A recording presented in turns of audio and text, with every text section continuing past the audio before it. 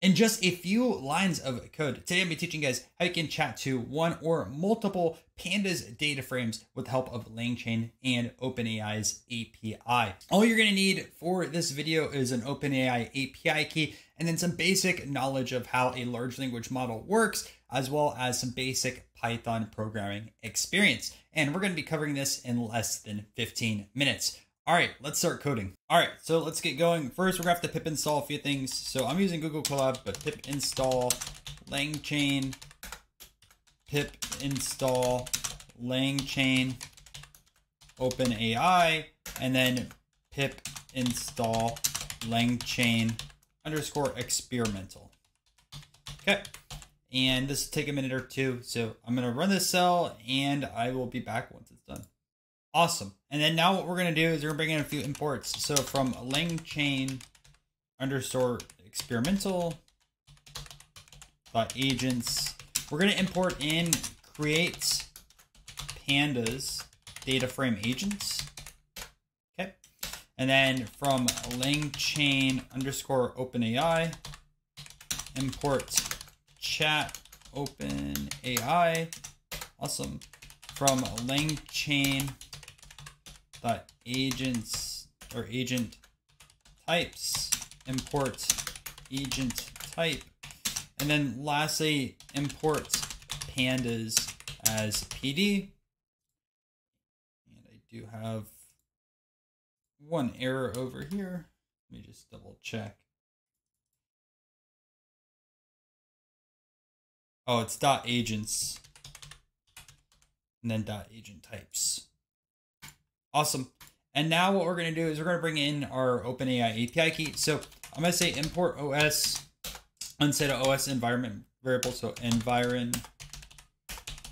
And then put your OpenAI API key, OpenAI API key, and then paste in your API key right here. Mine starts with sk dash.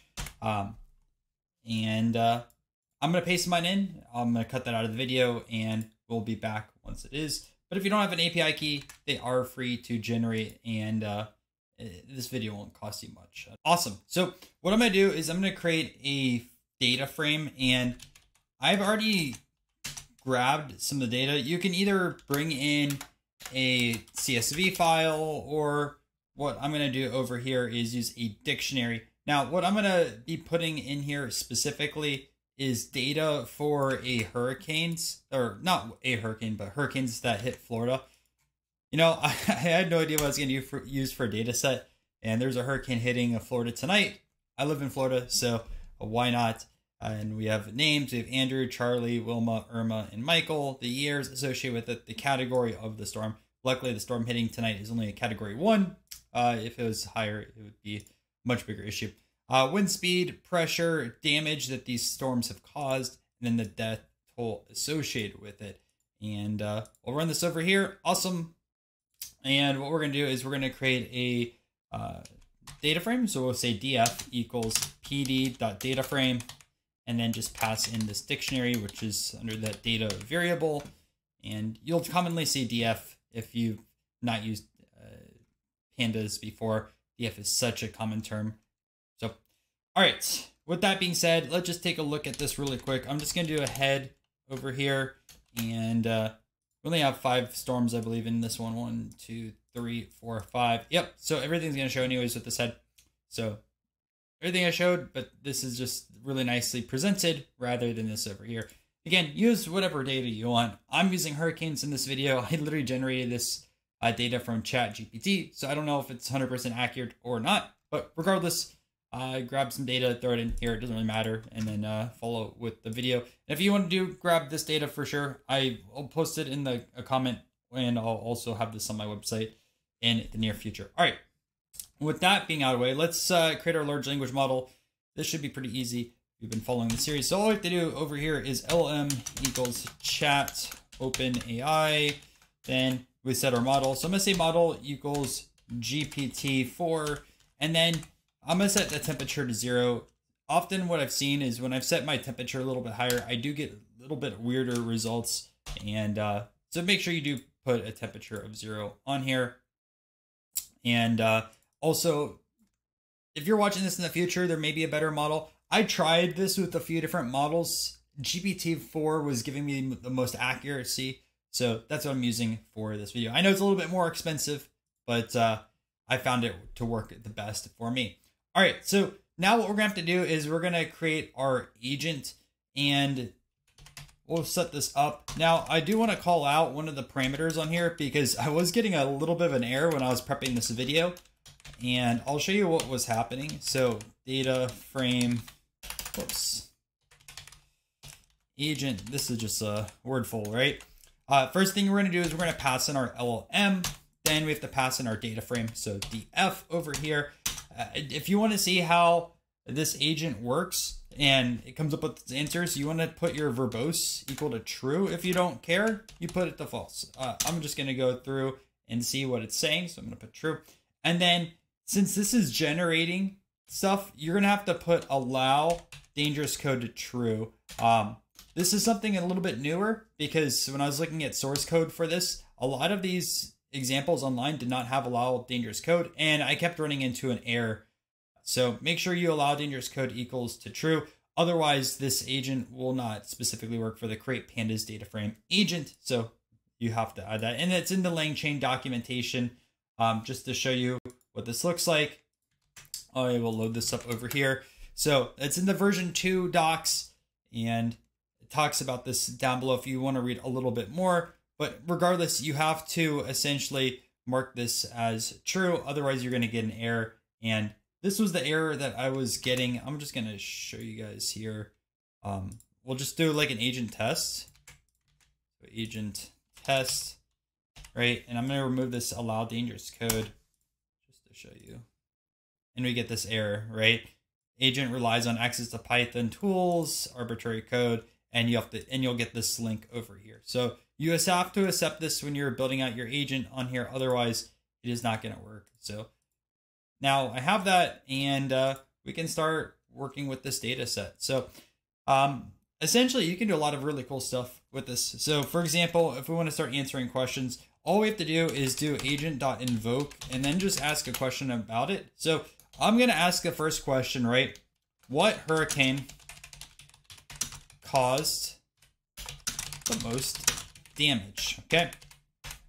And if we look over here, we're to have to look in this damage billion USD. And we're to see Hurricane Irma in 2017 caused $50 billion in damage. So that should be the answer. Let's run this with this agent.invoke. Uh, in the past, you used to see some code agent.run. That's now deprecated. So agent.invoke. So you can see finish chain, input what hurricane caused the most damage, output Irma, and you can see the thought process, right? This is why we have verbose equals true. To find the hurricane that caused the most damage, I need to find the maximum value in the damage billion column action, right? And then it shows the code, which is really awesome, right? And it says three Irma. And uh, what we can do is actually run this code if we really wanted to. And check this out. So what we have over here is our data frame damage billion, right? Damage max, and grab the name we're looking for this over here. And we have Irma.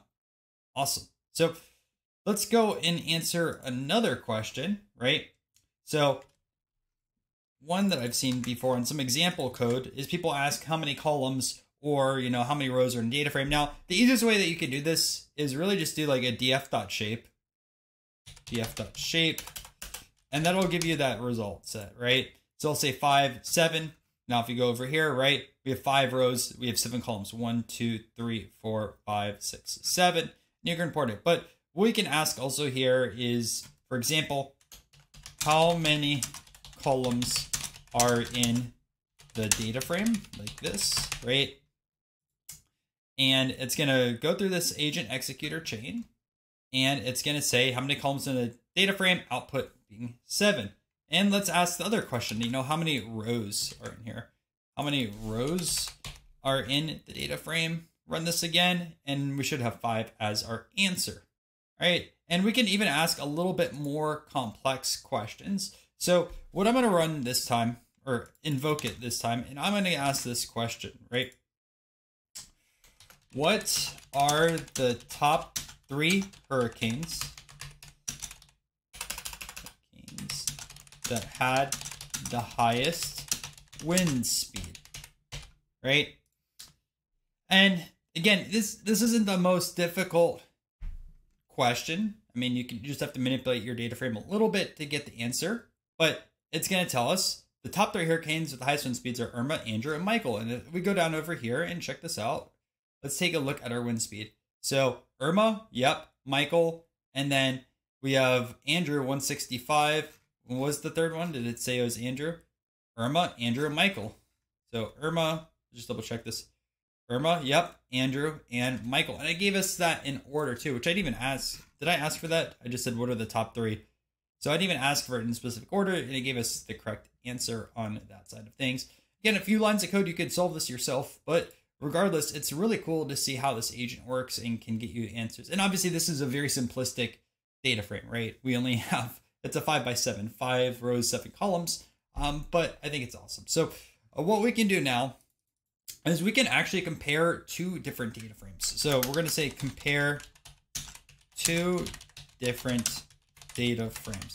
And what I'm going to do is I'm going to add in additional data to what we had. So this time we've expanded out the amount of hurricanes, right? Andrew, Charlie, Wilma, Irma, Michael, Katrina, Matthew, Dorian, Ian, and Nicole. The years are the same. Wind speed, pressure, damage, deaths are the same. This time I've also added brand new columns of affected areas, right? So we have the different areas that were impacted. We have Florida multiple times. Actually, all these storms hit Florida. And then we have the duration of days of the storm, right? 5, 6, 10, 14, 7, 9, 12, 9, 8, and 4. So a little bit more information, and this is a really awesome side of things. So what we're going to do is we're going to create another data frame. We're going to say df2 equals pd.data frame. And I'm just going to pass in data again because this was just called data, right? And I probably should have named it something different, but that's okay. Now we're going to recreate our agent and I'm going to say agent equals, and essentially I'm going to copy the same code that we have over here, right? But there's one slight difference in the code. So instead of just putting df over here, what we're going to do is we're going to pass in both data frames. So we're going to say df, and then we're going to say df2. And now we can compare both of these data frames once I run this. If we're going to still use our same large language model, GPT-4, temperature zero, we're going to have a verbose true and allow dangerous code equals true. So the first thing I want to do is we're going to say agent.invoke. And here's the question I'm asking. What columns exist in df2 that aren't in df? Right? So we're going to take a look at these columns and we should have two columns that exist in df2 that are not, and it's showing you the code that's built out, right? And it says duration days in affected areas, right? So affected areas and duration days. That is correct. Now what we're going to take a look at is the different hurricanes. So we're going to agent invoke once again, and I'm going to say what hurricanes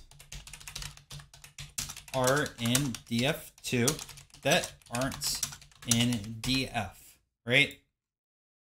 and it's going to run this over here. And you can see why this is really awesome. Uh, you can compare two different data frames. Let's say you manipulate one data frame, you impute some values, you want to go back and compare them. You could do that. I mean, there, there's really limitless possibilities. But regardless, uh, the hurricanes are DF2, they're not DF1, and then we have the five storm names over here. So I think this is awesome. And uh, let me just recap what we covered in this video because we did cover a lot, but I feel like we flew through this one in general. So what we did essentially is we brought in an experimental agent, which is create pandas data frame agent, right? Uh, make sure you bring in your OpenAI API key. Now, I essentially had everything over here in a dictionary. You can import it into CSV and then turn it into a data frame, but make sure we do have that data frame over here. And then I created my LLM. I'm using GPT-4. I found it to work the best. In the future, that might not be the case as new models are developed and launched, but right now GPT-4 works great for me. So what we're doing, we create our create pandas data frame agent. First thing we have to do is pass in our large language model. Then we pass in our data frame or multiple data frames, right? Remember I showed you, this is just DF over here. Down below, I passed in DF and DF2.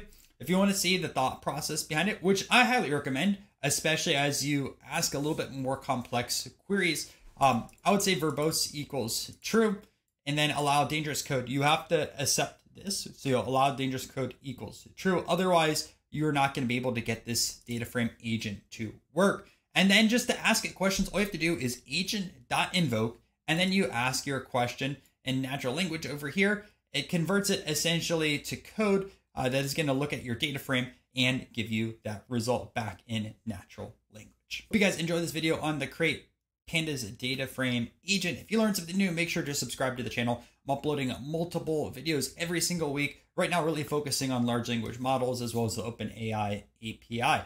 Now, if you want to learn even more, I have a playlist down below as well as a few other videos that I highly recommend that you check out. And you can watch it right over here as well.